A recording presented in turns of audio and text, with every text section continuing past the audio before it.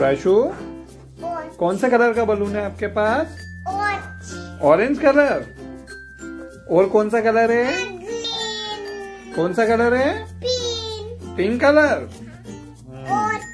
और कौन सा कलर है? ऑरेंज कौन सा कलर है? वाइट